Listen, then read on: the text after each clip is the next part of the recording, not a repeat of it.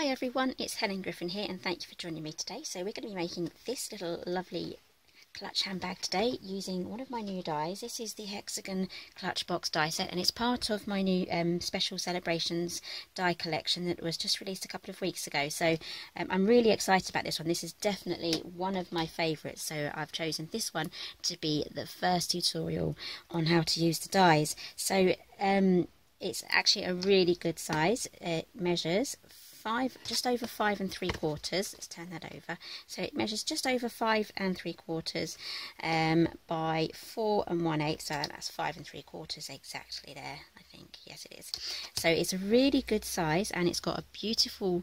Um, detailed clasp element there and there's a few options on how you can do your actual clasp but today we are going to be just doing a simple one because I have some velcro here to keep this box closed and it's a really good size. Right, so let's get on with showing you the die set that you get and all the bits that you get in the set. So this is a bumper collection of dies.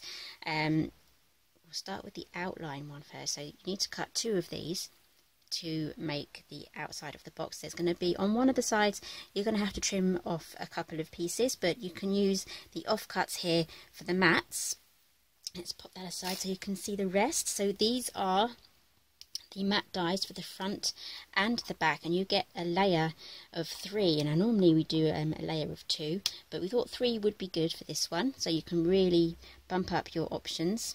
So we've got three there. That's for the um the front lid here just for the front section.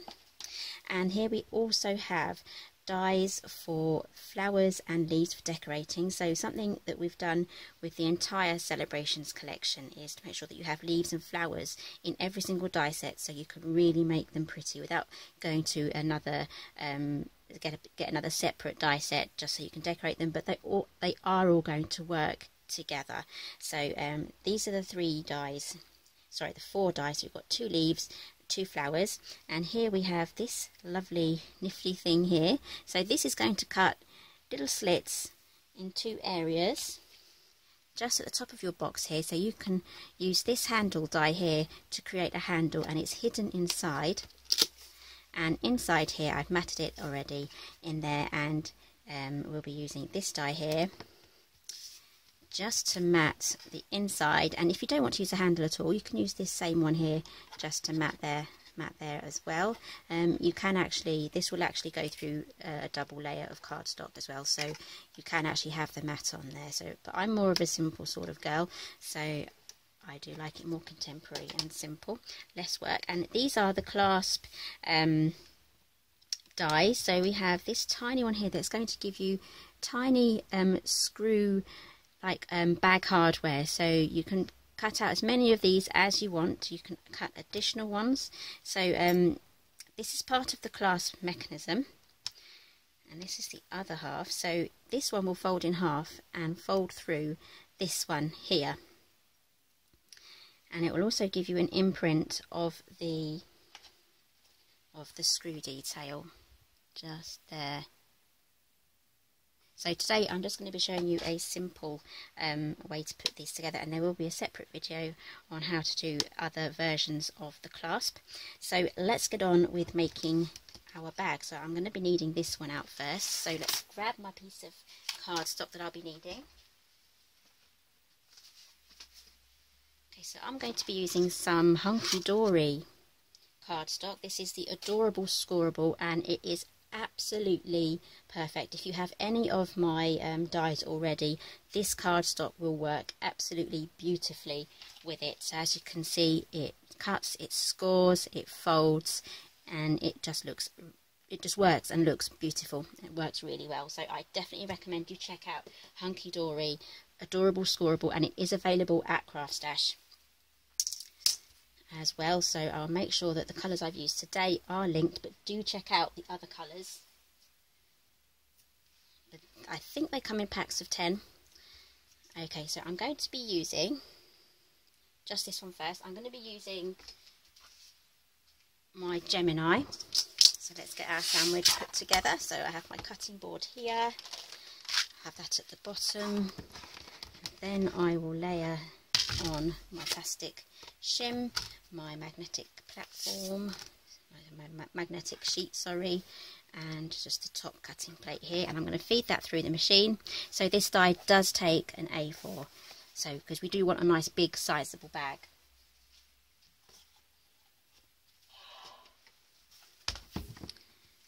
Okay, as you can see, that has cut and scored really well. Let's pop this aside. So as I was saying before, um, you need an A4 die cutting machine for this one.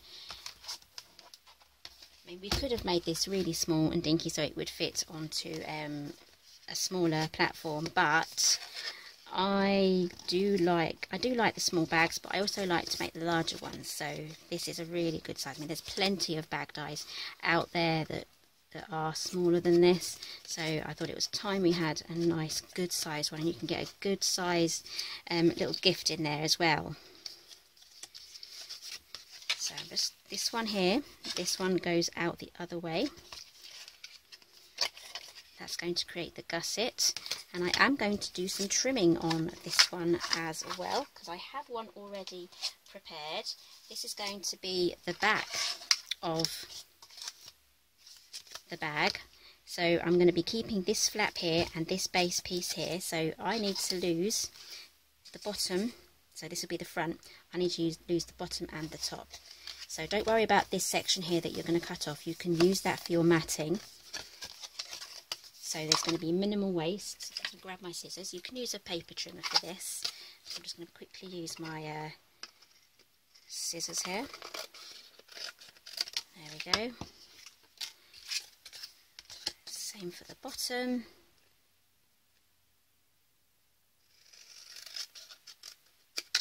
There we go. Okay, so all we have to do now is assemble this all together. So I'm going to glue this section onto this section first. So let's grab our glue because this this does have a slight coating on it. So it may take a little bit longer to dry, so if you have some red tape, which should be something like this, then you can use that just to glue it together. I'm going to uh, just find the flap. I'm going to do this flap here on the gusset.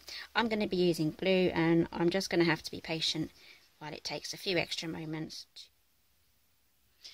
Okay, so my um, my camera actually stopped filming, and um, this is actually a day later because I'm now editing the video, and I realised a whole chunk of the most important part of the video was not there. So um, I have some different colour cardstock here because I'm not going to make another one in the same colour. I always try and make something in another colour, so that's why we're using the pink. This is a pink hunkydory adorable scorable. So let's get back to um, how to make this and then after this little section you'll go back to the blue bag again so if you're easily confused that's why. My my camera decided to stop filming and I didn't notice and I just you know carried on. So anyway let's get this glued together. So I'm going to start off with this side first. Um, I think I ended off uh, trying to glue this side to this side but it is easiest to glue all of our little sides together and then glue the box together just like that. So let's get all of our sections glued together. So I'm going to go for the, the little side flaps first just to get each half put together. So um, I am using Cosmic Shimmer Glue. It does dry quite fast, but because this has a coating on the cardstock, it is going to um, take that little bit longer to dry, but, but not like loads, just a little bit longer.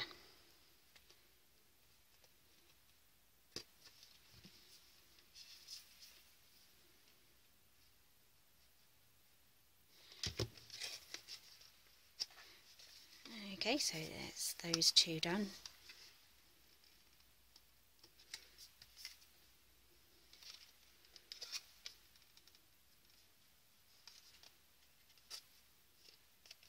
If you push it down quite firmly, it should just stay where you need it while it just sets. And then we're going to do exactly the same on this side as well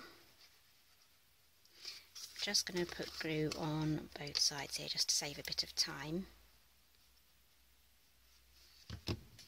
Oh, I don't need to do that one just yet. Get carried away with the glue there again, so we can add some more if that does dry.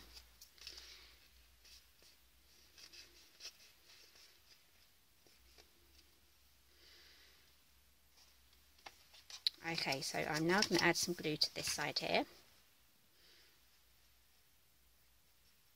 Okay, so you can actually do as I'm doing here, or you can do it bit by bit, one at a time, and work your way across adding it together. So I'm going to have to turn this one over just to make sure it's in the right place, which it mostly is. I'm just going to bring this up a little bit. There we go. Add some glue to this flap here. I'm going to work my way around now. Just add a little bit more to this one. It's still quite wet, it hasn't, hasn't dried yet. So let's pop this in together. This is where it can get quite fiddly.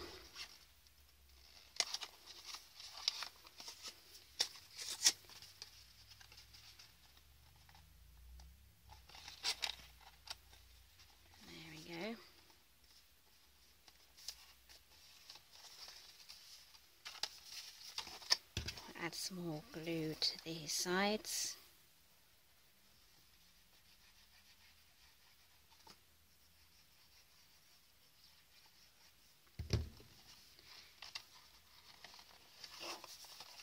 And then press it all into place.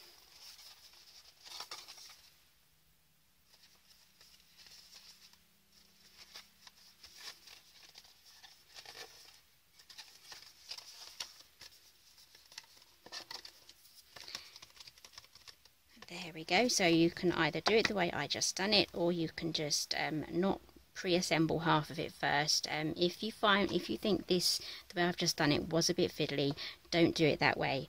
Just um, stick the two sides together at the side here and then just slowly work your, your way around um, gluing the tabs individually and if you do it that way it will not be as fiddly.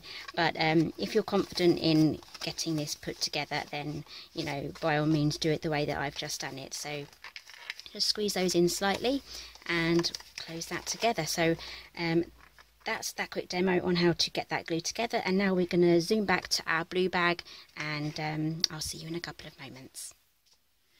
Okay, so my camera did actually stop filming there, but this is what it looks like put together. And I did make, make one slight mistake before putting it together. I should have used this die here to make my holes, but I always make a couple of mistakes when I make things.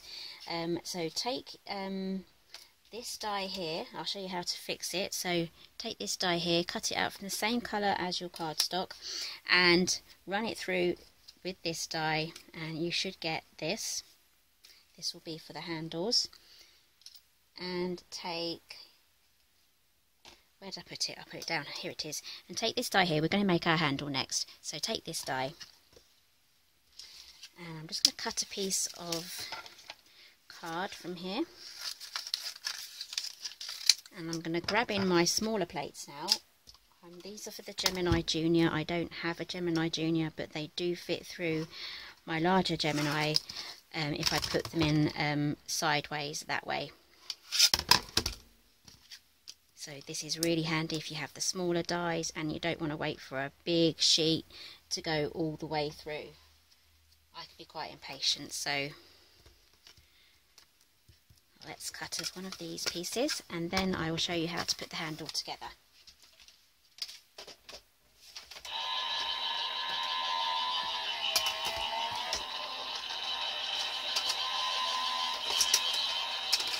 Okay, so I've just grabbed my little scoreboard as well.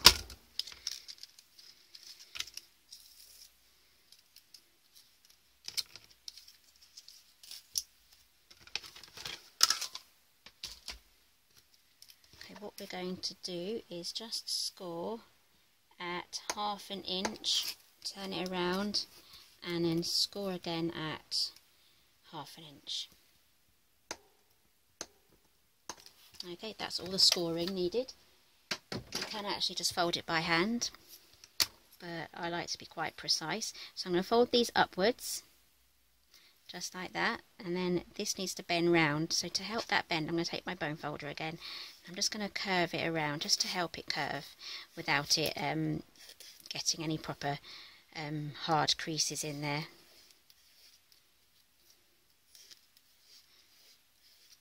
And now we have a nice curve.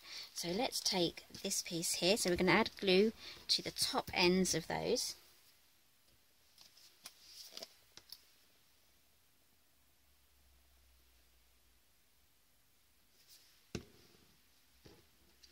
And then we're just going to feed these through. I do have a better version. There we go. I have this as a these holes are more central. I did cut it twice. And just pop that through to the other side and then press down. Do exactly the same on the other side and then get that central. I've got dried bits of glue all over my fingers now. That's one of the uh, hazards of paper crafting with glue. spend the rest of the day picking it off. Okay, that's our handle piece done. So if you actually manage to remember to put your holes in the top, you'd be assembling it without this extra piece. So let's get this glued on.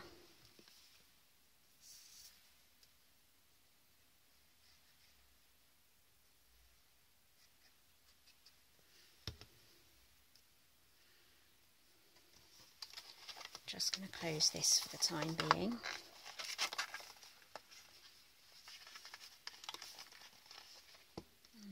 Hold the handle and pop this on. You wouldn't have this trouble if, like I said, you, rem you remembered to put it the holes in first. Okay, now that's that on. Leave that to dry. Okay, for mats, I've gone for silver and the same colour cardstock. You can layer up in different colours if you like. I like to repeat my colours throughout my projects. So I've used the larger one and the next one down. So I haven't used the third matting die. I've just used the outer two and that is for this side, the bigger one and the smaller one.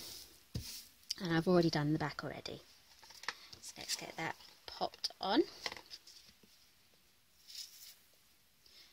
I'm Gonna have to buy some more glue soon think I've only got about a third left in my bottle, which is a good warning sign that I need to think about buying some more.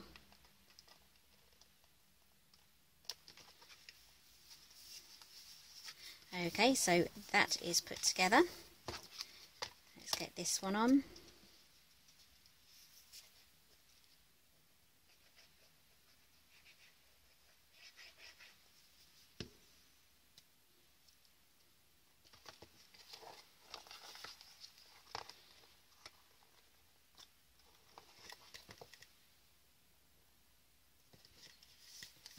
Okay, so now we need to work on our clasp, but before we do that, I want to put together um, the bag to an actual closure. So I have here some um, super slim Velcro pads. So um, I'm just looking for my scissors. Oh, they're right next to me. They're here. I'm looking right over there for them. Right, let's chop this off. Okay, so this is really easy to add on. It doesn't have to be complicated. So I'm just going to peel off, peel it off the backing sheet first. It's up to you how you do it. I like to just do it this way. Okay, so these Velcro pads, they're from Amazon and they weren't very expensive. I think they were $8.99, but you do get a hundred of them in this pack so yeah a hundred sets and they are very slim. Absolutely perfect for box making. I've been using them on gift bags. I've been using them on everything so I expect to see these again very soon. Right so let's peel off the backing for this. Right so this is where we have to be super careful. I'm going to be lining up this edge here with this edge here. Just like so. Just get it all lined up. And Make sure it's all lined up here. Use your fingers and then press down. Okay, so that is now closed. So we can now just open this up very carefully. It hasn't properly been um, pressed down yet. We've only just placed it there. So I'm using my bone folder just here. And with this one, I'm just going to press it down. There we go. So that should give it a good bond now. Right, so let's close that. And now we can decorate our bag. I mean, this looks pretty just as it is. You would you would literally get away with, with that just as it is. So we're going to make it pretty now. So let's grab, I've cut everything out ready. So this this is what the, um, the foliage will look like once you've cut everything out. So we can now assemble everything and I want to add some dimension. So I have this is by Tonic um, I don't know where it's in stock at the moment. I'll double check.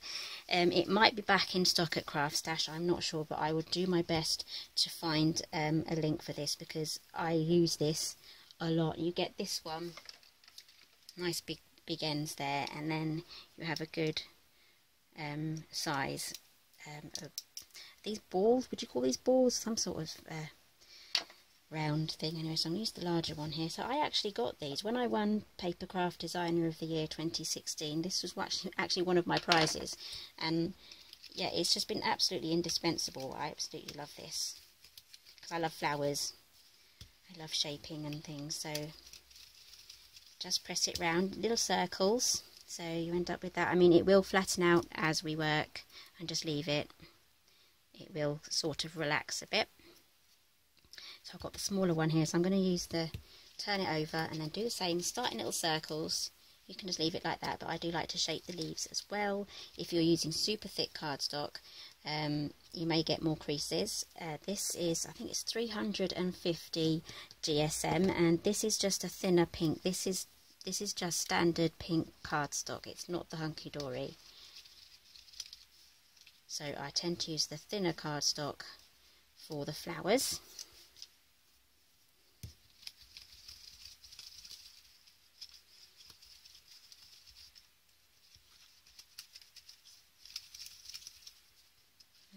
Go. So let's get these glued together. I'm going to have this two as a set and um, I think I may have cut one a little too large.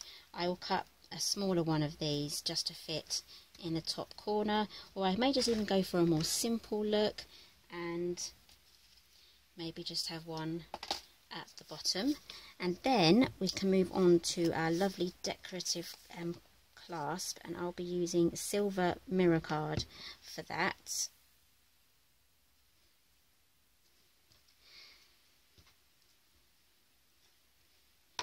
So I'm going to be using these leaves here.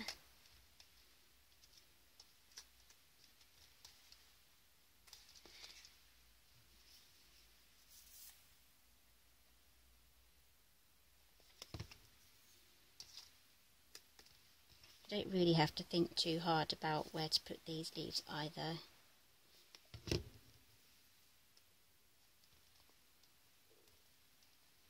Okay, so I'm doing this decorating first with the flowers. You're probably wondering why I haven't gone straight to the clasp. It's just because gluing these on is going to give the um, the flowers a chance to settle down because it's quite glossy it does take a little bit longer to dry so that looks really pretty. I'm just going to stick to one big flower at the bottom just so that it's a bit of a change from the other bag I made.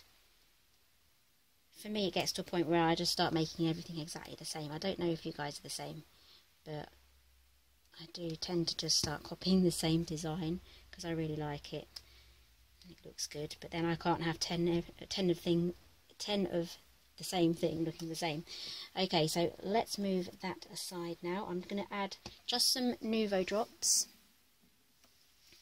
These are gloss white. I'm just going to add a centre to the flower.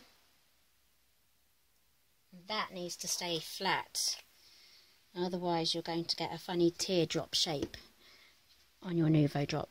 So I'm going to leave that there just to dry. So let's move that aside and we're going to work on our clasp now. So you're going to be needing this one here with the two crosses and this one here, this teeny weeny thingy, looks like a some sort of tool or something. So I've got some mirrored cardstock here. I think that should be big enough. Glue everywhere. It's just coming off me. It's like I've been sunburnt. Okay, so a bit of washi tape.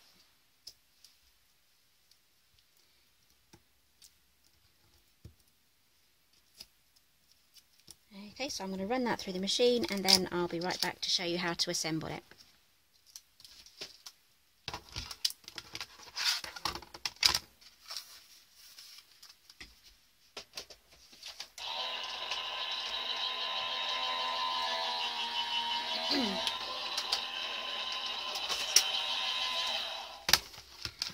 okay, here we go.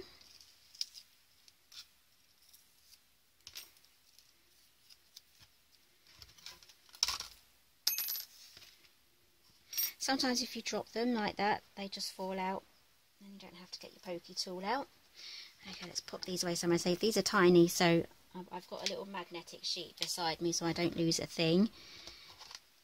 I have a very big habit of losing my tiny dies.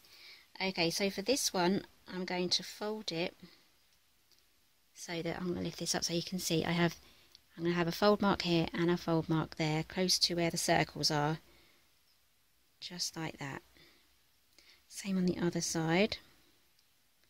And then I'm going to just bend it but I'm not going to um, make a hard crease because I want it to be rounded just like that. Okay so I hope that makes sense. And then I'm going to feed that through here from behind. Just like that. And then I'm going to glue it on the underside. Okay so let's add our glue.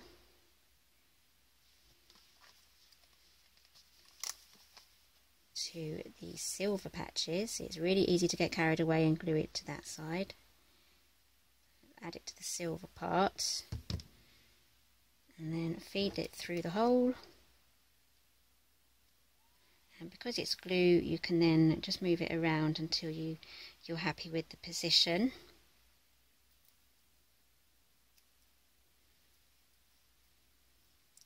I've made a bit of a mess here but I'm sure you'll be more neat and tidy than me if you beg to differ let me know down below if you think you could do a better job or a worse job. Okay, so where's our bag? Here it is. It's right at the other side. Right, so we're going to pop that on there and that will be our closure or a faux closure.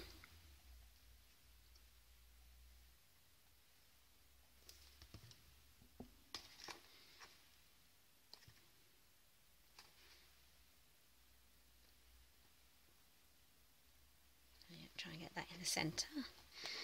Nothing like a wonky bag. Okay, so that is it. So there's plenty of room in there for some lovely treats or a little present or a scarf, perfect for giving gloves.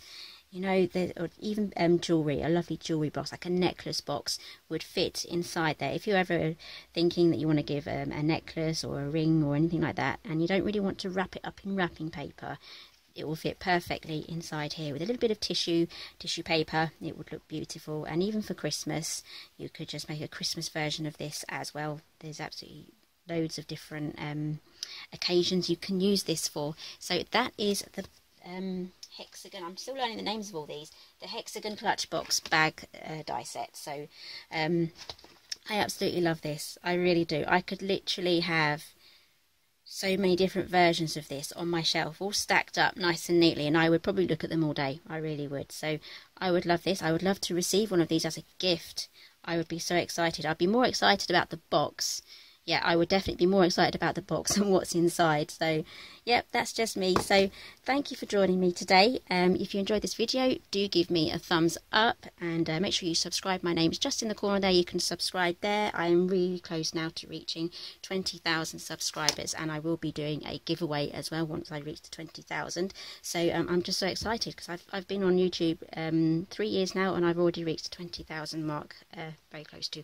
So, thank you so much for joining me today and I'll see you again next time.